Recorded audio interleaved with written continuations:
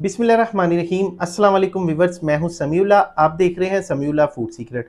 दोस्तों, आज हम बनाएँगे स्टीम फ़िश की रेसिपी बगैर ऑयल के फ़िश बनाएँगे तो इसको आप बहुत ही आसानी के साथ घर के पैन के अंदर बना सकते हैं। तो इन ताला इतनी मज़ेदार, इतनी डिलीशियस बनेगी। ये जो दिल के मरीज़ हैं, जिनको ऑयल बंद किया हुआ है, उनके लिए ये इतनी ज़बरदस्त रेसिपी है। और जो लोग डाइट करते हैं, वो इस मछली को बनाकर खाएँ। इन ताला दिनों में आप स्मार्ट हो जाएँगे, क्योंकि ऑयल आपके अंदर जाना बंद हो जाएगा। तो चले इसको बनाना स्टार्ट करते हैं। चैनल पे नए हैं, चैनल को सब्सक्राइब कर लें बेल आइकन को प्रेस कर लें।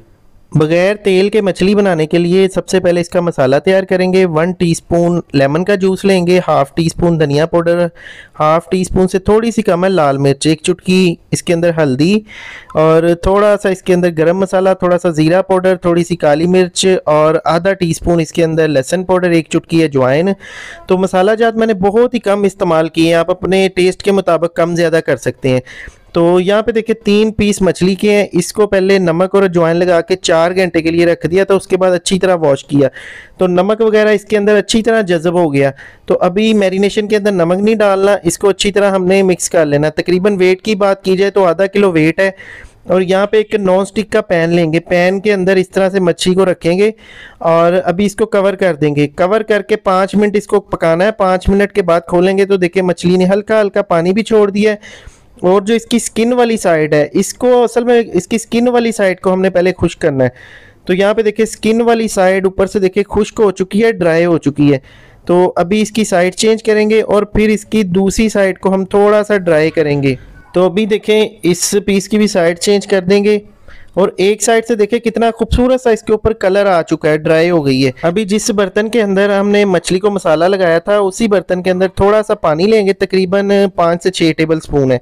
ये पानी इसके अंदर डाल के पाँच मिनट के लिए फिर कवर करेंगे। टोटल इसको दस से पंद्रह मिनट के लिए पकाएँगे। बहुत ज़्यादा नहीं पकाना। तो यहाँ पे दस मिनट गुजर चुके हैं हल्का हल्का पानी मौजूद है। तो इसी पानी के साथ साथ हमने इसकी एक दफ़ा साइड चेंज करनी है और इसको अच्छी तरह खुश कर लेना है, ताकि इसके अंदर जो एक्स्ट्रा मॉइस्चर है, इसका पानी है, वो खुश्क हो जाए। नीचे से फ्लेम मेरा लो टू मीडियम है। तो अभी देखिए इसकी मैंने साइड चेंज कर दी है। साइड चेंज करने के बाद तकरीबन दो से तीन मिनट के बाद देखिए जी, इसको इस तरह थोड़ा सा तिरछा कर देंगे, ताकि इसकी साइडों से भी ये अच्छा सा इसके ऊपर कलर आ जाए, अच्छी से ग्रिल हो जाए। तो देखिए, ये मसाला इसका जो पानी वाला जो बना है, ये आसानी से उतर रहा है इसका जो नीचे मसाला है, क्योंकि नॉन स्टिक का यही फ़ायदा होता है।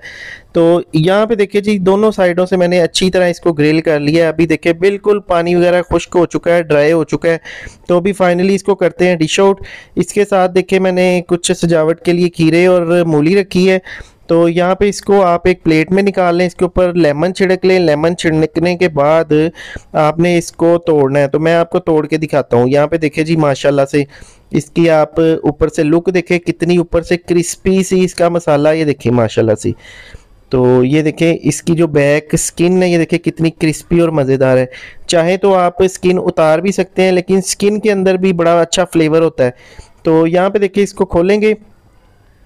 और अंदर से देखें कितनी ये ज़बरदस्त इसकी गुली बनी हुई है। पानी का एक कतरा नहीं है, बिल्कुल ड्राई हुआ पानी। तो माशाल्लाह से देखें जी, कितनी ज़बरदस्त हमारी ऑयल फ्री फ़िश तैयार हो गई है। तो बहुत ही आसानी के साथ आप 15 मिनट के अंदर ये फ़िश तैयार कर सकते हैं और इसको एंजॉय कर सकते हैं। इसके साथ मैंने रेड चटनी बनाई थी। ये चटनी की रेसिपी मैंने अपनी लास्ट मछली वाली रेसिपी के अंदर दी हुई है। लिंक मैं आपको डिस्क्रिप्शन और आई बटन में डाल दूँगा, वहाँ से आप देख सकते हैं। वीडियो को फ्रेंड एंड फैमिली के साथ शेयर कर दें। बहुत सी दुआओं में याद रखिएगा, अपना बहुत सा ख्याल रखिएगा। शुक्रिया, अल्लाह हाफिज़।